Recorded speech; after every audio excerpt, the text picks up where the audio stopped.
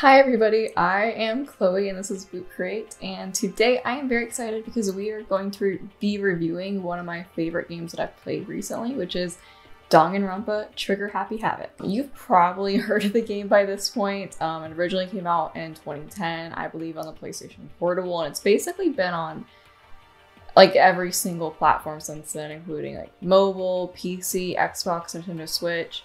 Um, I'll be reviewing the PC version because that's what I played. Um, but yeah, I had a lot of fun. Um, and once I got into like a good spot into this game, like you know, about like two or three hours in, like I literally could not put it down for two days. Like about all I did for like two or three days straight. It is definitely a very fun trip. So the general premise of the game is you play as a high schooler Makoto who is attending a prestigious academy where it's like the best of the best attend like the best uh athlete best idol superstar whatever um, is invited to attend this academy. And when you the player get there um everything locks down and you find out that you're trapped in there. And the only way that you can get out is by killing the other students and not getting caught. And how do you do that? After somebody dies there's a class trial where people have to figure out who the murderer is after somebody's been killed. Um, and the entire thing is led by this really annoying bear named Monokuma that's forcing them to do this. I probably got fucked up with pronunciations of all those names, and I am really, really sorry. Uh, it's a mix of visual novel, like mystery adventure game, and at some points, like a dating sim RPG where you get to kind of talk with people, you know, get to know them better, level up your relationship all that fun stuff. Think if Persona, Zero Escape, and Ace Attorney had like a kid and that kid was a really fun game, that's Danganronpa for you in like the simplest terms. So as I mentioned before, it's like a visual novel. The gameplay is mostly going to be like a visual novel. You walk around, you talk to people, you investigate areas where crimes took place or when new areas open up. Um, and then there's also another gameplay segment of class trials where you put together the evidence you found, like ask people questions, present the evidence. There's like little mini game portions, and it's all pretty fun. It's like there's a decent amount of variety of gameplay to not get boring, especially if you're not used to playing visual novels. I wouldn't really be concerned about that because this doesn't really feel as much like a visual novel as other games. Um, I personally really love the visual novel aspects of the game, though. Um, I love kind of mystery games. Um, I'm a really big fan, like I mentioned, Zero Escape. I'm a really big fan of that series. And uh, Persona, I love those kinds of, you know, just talking with characters, getting more of the story. Uh, the dialogue was um, like a little tedious sometimes, just in the sense of like after something would happen, you get reactions from like all the characters, and it's a giant cast of characters. Um, but you can skip through it. Uh, I found that out at one point. I was really glad to find that out because some of it is kind of like a little annoying, repetitive, but most of it's really interesting. It's a well written, just you know, fun game to play. Uh, there is voice acting during more important cutscenes and during the class trials. Uh, it's not entirely voice acted, um, but there's enough voice acting to where you kind of get a feel for the characters, and I really enjoyed it. Um, and there's also, I think, the option for the Japanese or English dub. There might be other languages, but I know a lot of people, you know, might prefer, especially since this is a Japanese game, to have the original dub, and you do have the option for that, which is nice. Down to like the other parts of the gameplay, the class trials and the mini games. I don't know. Some people talk about them being like too easy. I don't know. I personally just found it annoying, honestly, at times.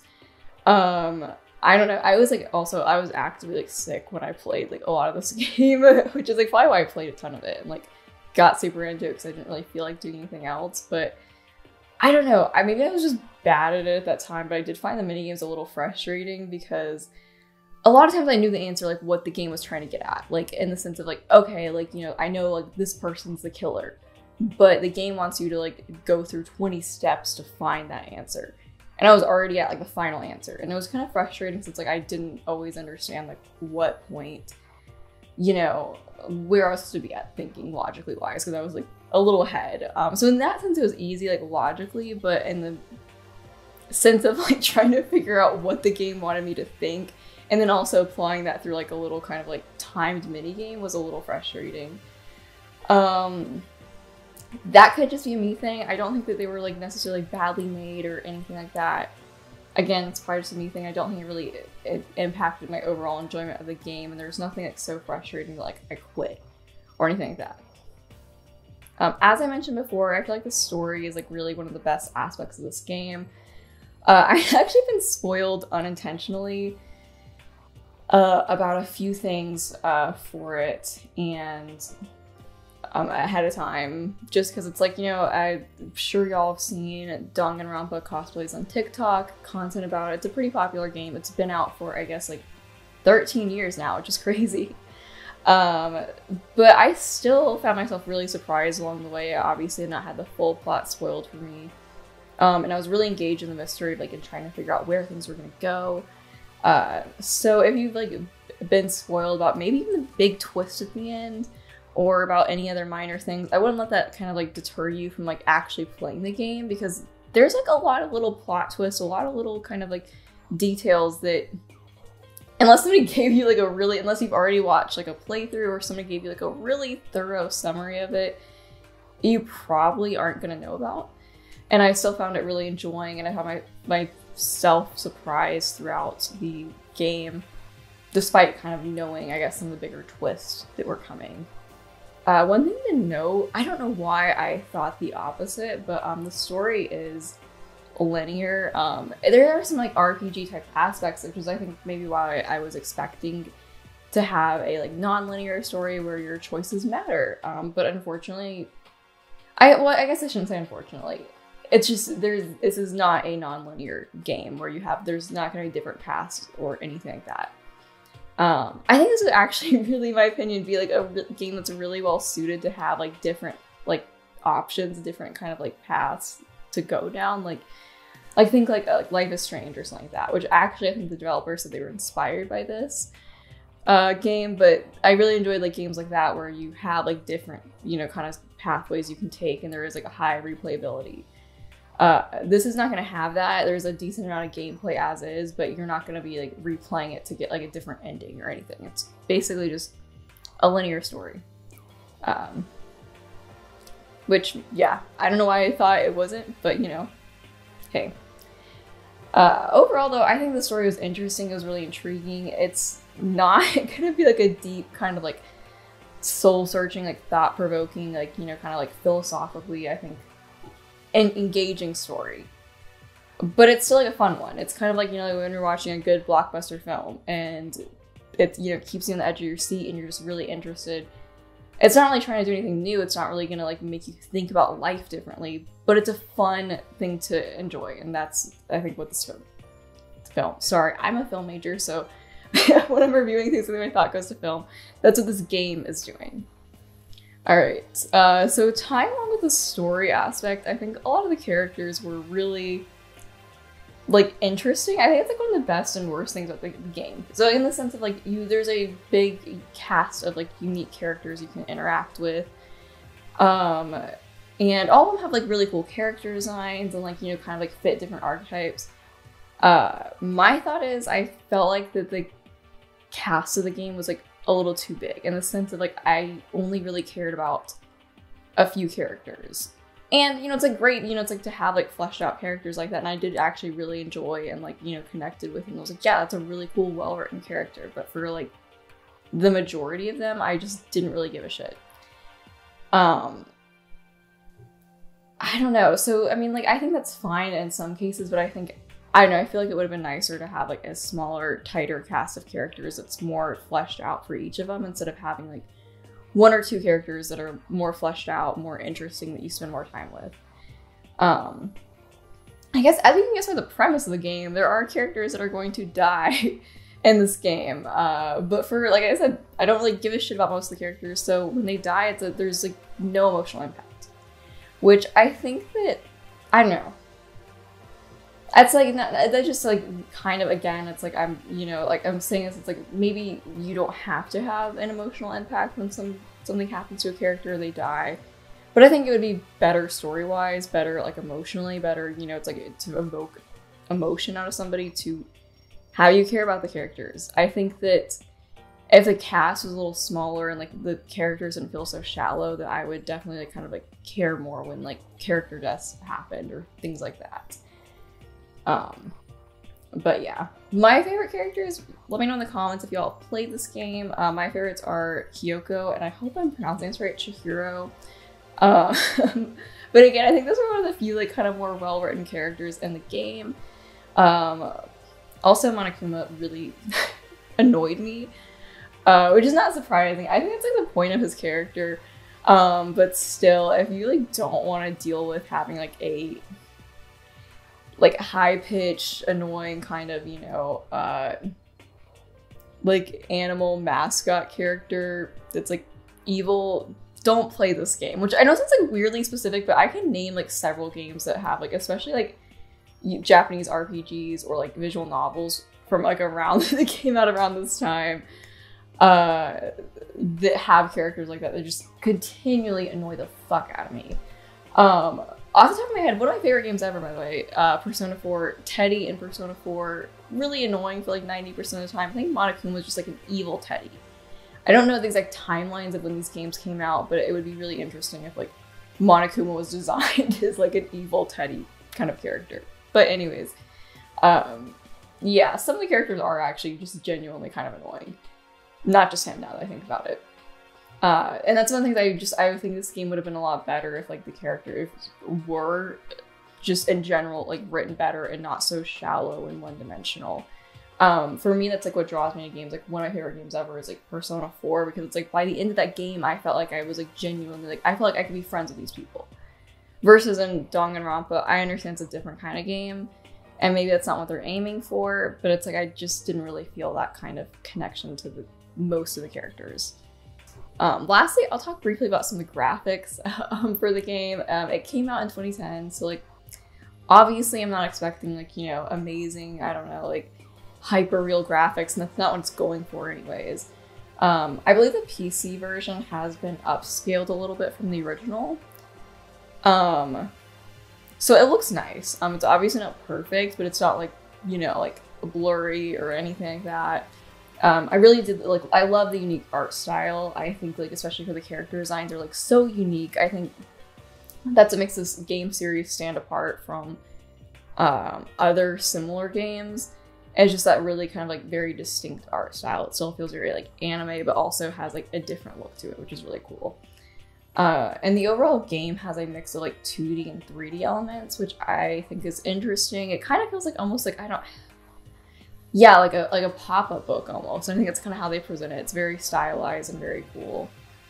Um, and I think that that kind of helps the game look better playing it now, despite the age, because it is more stylized. It is a little more 2D. Versus I, I'm not very picky with graphics, but I played other games that came out around the same time period that are more 3D graphics that you definitely notice like you know like yeah this is kind of old and you know i'm trying to like look past kind of i guess like the janky look of it to like enjoy the game. So overall impressions i hope i covered kind of most areas that y'all are interested in hearing about but my overall impression of the game is it's a fun game. I really enjoyed danganronpa. It just it's fun. Um, I know like the probably plot premise sounded kind of dark, but it doesn't really get super serious or gory. There's a very dark comedic element. It's almost like very melodramatic at times. Um, it's not like trying to be a serious game. It's not trying to be philosophical. It's just I think it's trying to be fun, and I think that's like okay for a game to do that. I think it's like fun. It's a good mystery. Um, it's just a, you know, it's a good game to play. It just kind of like kept me kind of on the edge of my seat in terms of like the story and it's I I think it's actually also really well paced too. At the beginning, like I'd say like for the first five hours felt a little bit slow, but after that it definitely like sped up a lot and the pacing was a lot better. If you um played Danganronpa before or you like how this game sounds, but you're like, yeah, I would you know like it more serious or like better written characters, then I highly, highly recommend you check out Your Turn to Die. Um, I I'll put a link to it below. Um, it's currently on Steam right now. I originally played it in the like in my like web browser for free. Uh, a fair warning, it's like the game is not completely finished. There's a decent amount of content, but it's not finished. Unfortunately, I've been waiting like I think like two years now. yeah, two years for the next chapter that has not come out. Uh, when it does, I will definitely be playing it. I'm really excited.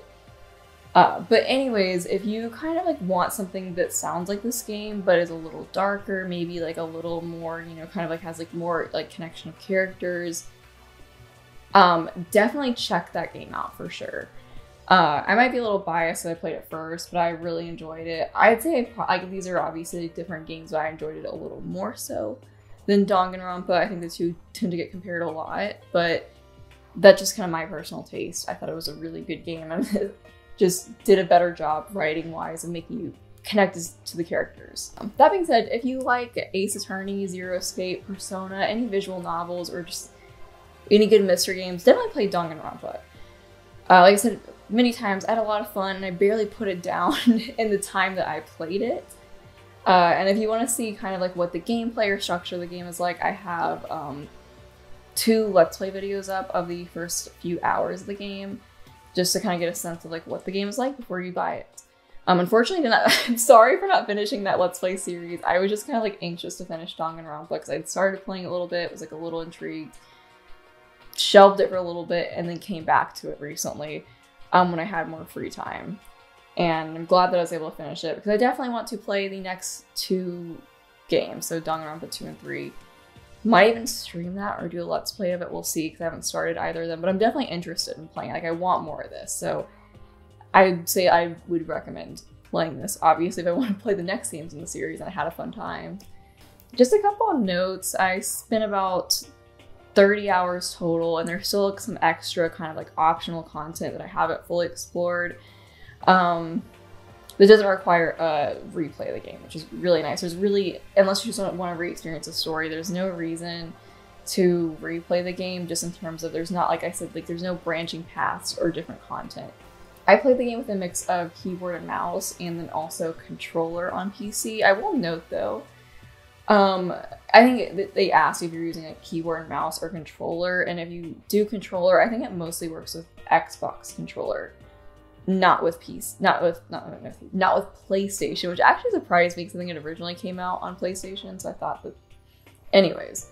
Um, so if you use a controller, it will like automatically. I think it works with PlayStation controller, but it won't. Uh, the buttons it tells you are, are going to match with the Xbox controller, so you might be like slightly confused. Um, but anyways, I think it actually played fine with both of those. I played it also mostly on a laptop uh, that is a not a gaming laptop. So you can probably play this on like anything, honestly. Like I said, it's even available on like mobile. I haven't played the mobile version, so I can't speak for that, but it's out there. So if you want to play it and you like, don't have a gaming PC or even a console, don't be concerned about that. You definitely can play it. But yeah, if you have any questions about the game or have any of your own thoughts, uh, be sure to let me know in the comments below. I really enjoyed playing this game and then also reviewing it. I hope to be reviewing some more games in the future. So if y'all have recommendations of what I should play or review next, then uh, be sure to let me know. But thank you so much for watching, and I hope to see y'all soon. Bye.